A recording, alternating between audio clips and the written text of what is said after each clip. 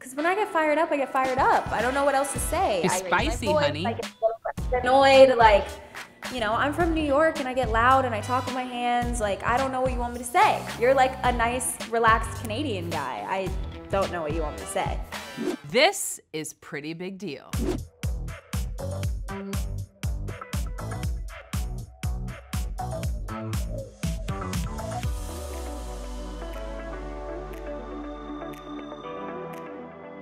Shout out to Revlon because I've got this Apra Cute blush that's going in my eye, but that's like the whole point. It's like the blush goes into the eye, a little bit on the nose. We warm up the face.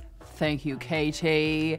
Um, it's all about a versatile makeup look. So thank you, Revlon. Today I'm talking with Hailey Bieber. I would describe her as Hollywood royalty, but also at the core of Hailey, I really feel like she's just as sweet as pie. From the day that I met her to who she is today, I have to say that it's the same girl. So check out a few of my favorite Pretty Big Deal moments with Hailey Bieber. The- there she is! Hi. How are you? I'm good. I miss you. I miss you so much. Now you've been married for two years, but can you just describe to me a little bit like your your last year, two years together? Everything happened really fast. You know, I think everybody knows that. Everybody was Yeah. kind of like, hey, did you get married?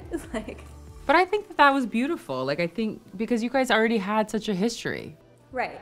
I think that's just something on, that people like even publicly they don't know. I mean, getting married at 21 is like really scary. Although I felt like I had lived a lot of life and I always knew I wanted to be married young. I just was like I always had this idea in my mind like if Justin and I ever end up back together, we're going to be like way later in life and I'm going to be like he's going to be like 30 and I've like figured it out and if not like we're mm-hmm. never going to be together.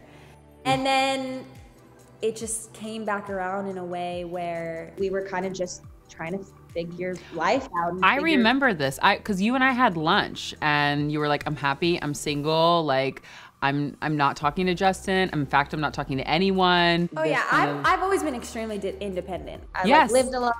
I was It's like so great. sad. It's so yeah, I liked my space, but I felt like the time that he- things came back around for him and I was the time where I really had like let it go and was like, I don't know what's ever going to happen with this person. I just know that I want him to be in my life forever to Mm. some capacity, whether like he's meant to just be my friend forever. I just love him and I just want to support him and like he's always going to matter to me. I think that to say communication is key is like the obvious in any relationship. But beyond like communication is key to keep a relationship together, what else have you guys done or like implemented into your life? We did premarital counseling, we did counseling within like the first five years. We do date nights. We've got like, you know, games we play with each other. What what are you guys doing to keep communication? similar stuff like that. I mean, we did we did do like counseling and some therapy together before we were married. Premarital counseling. Yeah.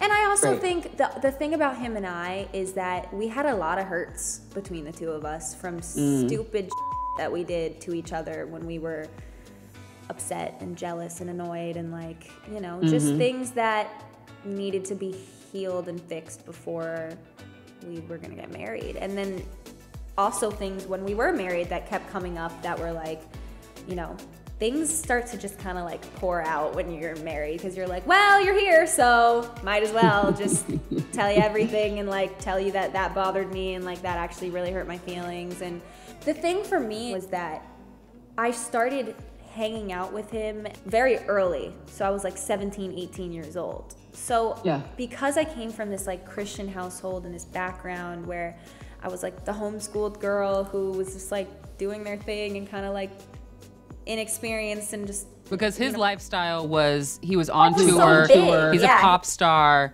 You know, whether it's like we are in another country tomorrow and then the next day, but there's probably like parties and all this stuff happening around him. like it was just like a lot there was just a lot that i was mm-hmm. experiencing all for the first time so then like when we got back together and now i'm like 21 22 i'm like now i have the awareness to know that like actually at 18 years old that was a lot for me and like i wish that that hadn't happened or like you know, it broke my heart when this happened, or like I thought it was disrespectful when you did. Because when I was 18, like I wouldn't stand up for myself the way I would now as like an adult mm-hmm. woman. Y'all are two good looking people, like very good looking. How do you guys handle how do you guys handle jealousy? I think for me personally, like I think jealousy is like a normal natural human being feeling. It's going to yes. happen no matter what. Like if I could take the jealousy out of my body, I would, but like it can't. And yeah. neither can anybody. I would say that like I know for somebody in his position, there's always going to be people that don't care that he's married and that will try if they feel like there's an opportunity or if they don't feel like there's an opportunity, they'll just try anyway. I'm like, it's just up to you not to let anybody think that they can get that far. You know what mm. I mean? And we just have built a lot of trust because we really went like zero dark 30 in the beginning. Like we went to the source of so many different things and did so much unpacking that it's like we're now at the place where I, I mean, it keeps getting better. I feel mm. like, and I would say, I know he would say the same thing. It just keeps getting better because everything got worked out the way it needed to be and you know we were able to there was nothing we weren't able to work out together. That's good. That's a good man and that's the way it should be. We also now have rules and like systems in place like we don't go to bed mad at each other. That's a big right. rule right? We also like really try to play fair. Like we don't like we're not name calling we're not like well you did this two years ago kind of kind yeah of, we, you know. we don't we don't try to poke at the past because i don't think that's fair and i've never liked it we have a thing about tone as well which where it's mm. like nobody wants to respond to somebody like attacking you or yelling at mm-hmm. you or mm-hmm. raising their mm-hmm. voice so when we come to each other and it took time to to learn what each other needed in an argument or in a conversation and for for him a lot of it was tone like because when i get fired up i get fired up. I don't know what else to say. It's I spicy voice, honey. I get annoyed like you know i'm from new york and i get loud and i talk with my hands. Like i don't know what you want me to say. You're like a nice relaxed canadian guy. I don't know what you want me to say. So i had to really work on that where i had to just be able to be like it makes me feel this way you know like, you know, like to hear the whole conversation, make sure you listen to Pretty Big Deal wherever you listen to podcasts.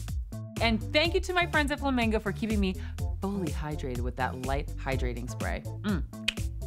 Hailey, thank you so much for giving us a little peek behind the curtain of your life and just being so open and honest. I, I love you. I appreciate you. Listeners, you're going to love this episode. Make sure to subscribe.